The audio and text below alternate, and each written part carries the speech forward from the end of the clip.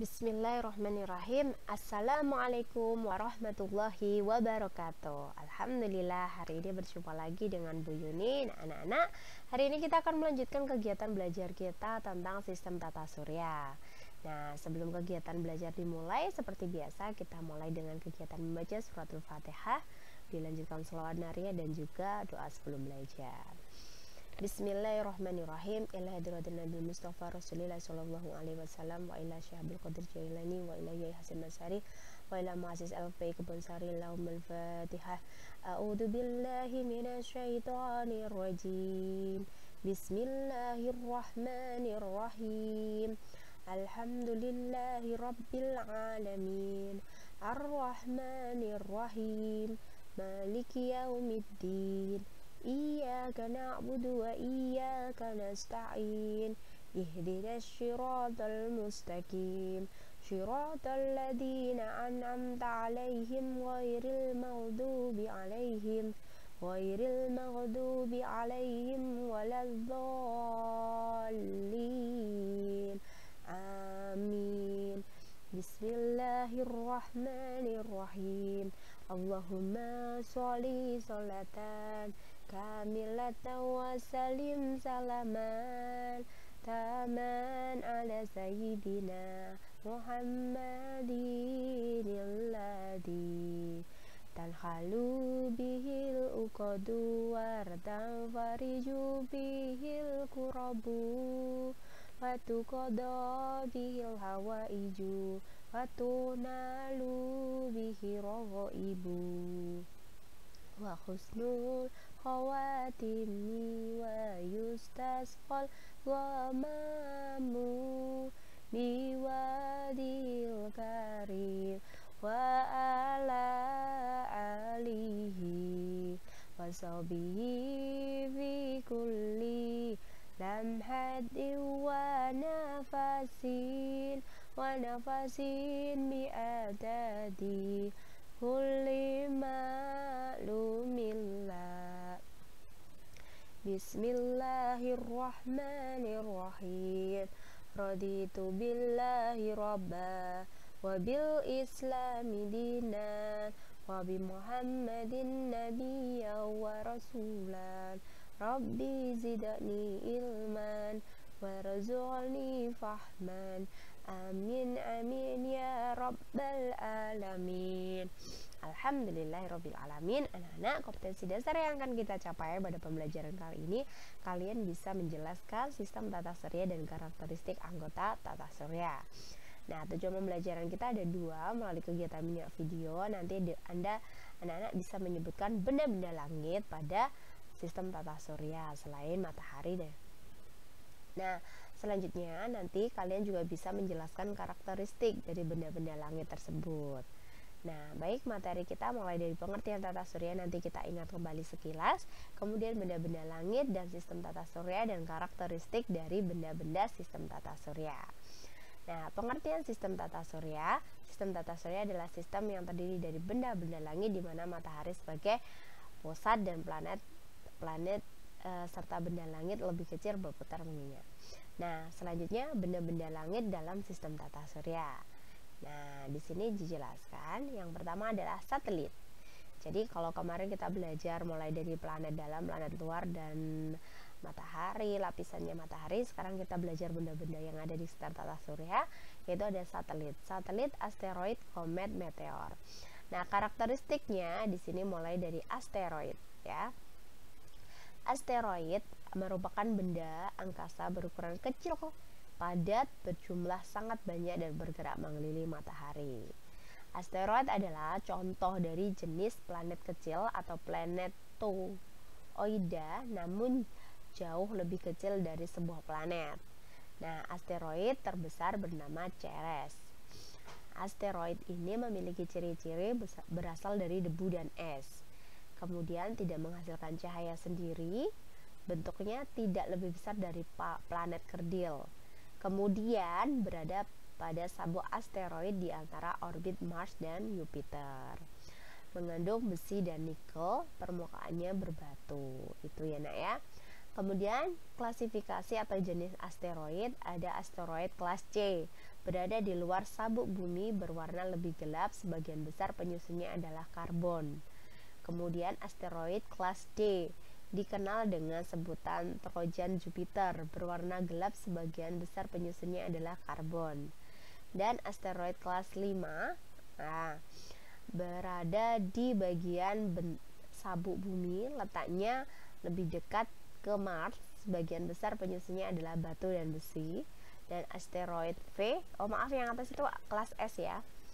Uh, V orbitnya berada jauh di antara orbit planet Jupiter dan Uranus sebagian besar penyusunnya adalah batuan beku yang berikutnya adalah satelit kita tahu di bumi punya satelit buatan satelit bulatnya disebut apa nak Iya, palapa betul sekali. Nah, satelit yang disediakan oleh alam disebut apa kalau malam kelihatan?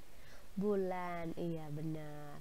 Nah, anak-anakku, satelit merupakan benda langit yang mengorbit atau berkeliling pada benda langit lainnya serta memiliki periode revolusi serta rotasi tertentu sama dengan matahari ya. Eh, sama dengan bumi dan planet lainnya. Dia juga berrotasi dan revolusi. Terdapat dua jenis satelit, yaitu satelit alami dan satelit buatan. Satelit alami merupakan benda luar angkasa yang mengorbit suatu planet tertentu. Fungsi satelit alami yaitu melindungi planet yang orbitnya dari benda-benda langit lainnya. Sedangkan fungsi lainnya yaitu dapat mengontrol kecepatan rotasi dari suatu planet dan mengurangi efek yang sering kali ditimbulkan akibat radiasi sinar ultraviolet.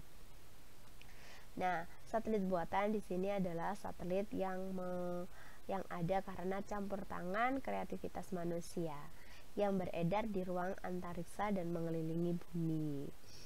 Berfungsi sebagai stadion radio yang menerima dan memancarkan kembali sinyal komunikasi radio. Ya, kaitannya sama sinyal. Dapat digunakan untuk membantu ahli meteorologi dalam memprediksi cuaca.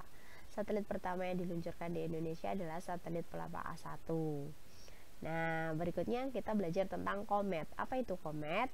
Komet adalah suatu satu di antara benda langit yang ditutupi kabut tipis panjang dan sering disebut bintang berekor atau bintang jatuh itu nak ya. Akan tetapi komet itu bukan bintang. Nah, garis edar komet seperti orbit planet atau satelit. E, beberapa komet memiliki orbit e, berbentuk elips, tetapi kebanyakan komet mempunyai orbit parabola. Nah, seperti ini gambarannya. E, komet terdiri dari kumpulan es, gas, dan debu yang membeku saat jauh dari matahari. Bila komet mulai mendekati matahari, partikel-partikel ini akan menguap sehingga membentuk kepala dan ekor komet. Komet yang terkenal adalah komet Halley yang terlihat setiap 76 tahun sekali. Masya Allah bagian komet di sini ya komet inti komet bagian inti komet di sini uh, ya inti komet itu yang paling depan. Kemudian koma koma adalah daerah kabut yang berada di sekitar inti komet uh, lapisan luarnya. Kemudian ada lapisan hidrogen di sini dan yang terakhir adalah ekor komet ya. Awan hidrogen lapisan hidrogen merupakan lapisan yang menyelubungi komet ya disebut koma bagian koma ekor komet terbuat dari gas dan cahaya yang muncul ketika komet mendekati matahari jadi pantulan dari sinar matahari ya nak berarti. Selanjutnya meteor. Meteor adalah pecahan atau serpihan benda langit yang masuk ke dalam atmosfer bumi dan mengakibatkan terjadi gesekan antara permukaan meteor dan udara dengan kecepatan tinggi ya. Proses tersebut akan menimbulkan fenomena pijaran api dan sinar atau cahaya dari kejauhan yang biasanya disebut fenomena bintang jatuh. Itu adalah meteor. Mohon maaf tadi Bu Yuni menyebutkan komet, tapi di sini adalah meteor ya yang benar. Nah, selanjutnya hubungan dan perbedaan meteorit, meteor dan meteorit adalah kalau meteoroid adalah benda kecil di luar angkasa yang ukurannya lebih kecil dari asteroid ya, sabuk itu ya. Kalau meteor merupakan pecahan benda langit atau meteorit yang masuk ke dalam atmosfer bumi atau biasanya kalau kita melihat bin, seperti bintang jatuh itu. Sedangkan meteorit adalah sisa dari meteor yang menyentuh permukaan bumi karena tidak habis terbakar di atmosfer. Jadi ketika ada gesekan itu sebenarnya uh, mau habis, tapi di situ ketika ada sisa itu disebut meteorit ya. Meteoroid, meteor dan meteorit. Nah, seperti ini anak-anak ya, berikut adalah penampakan kawah meteor yang terjadi apabila meteor tidak habis terbakar di atmosfer bumi. Jadi uh, seakan-akan di bumi itu ketika kejatuhan meteor itu seperti kejatuhan benda luar angkasa yang biasanya disebut UFO atau apa. Nah, itu sebenarnya merupakan sisa dari apa? meteor yang jatuh ke bumi, tidak habis ya. Selanjutnya, ah ternyata sudah selesai kegiatan belajar kita.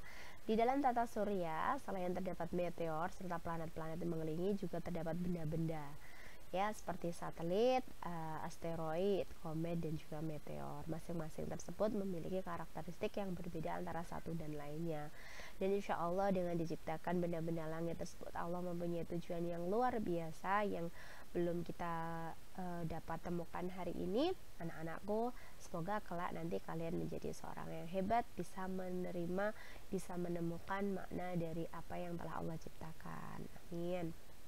Nah baik semoga kegiatan belajar kita menyenangkan menjadi sebuah uh, usaha untuk menambah wawasan kita menjadi orang yang bermanfaat bagi sekitar kita.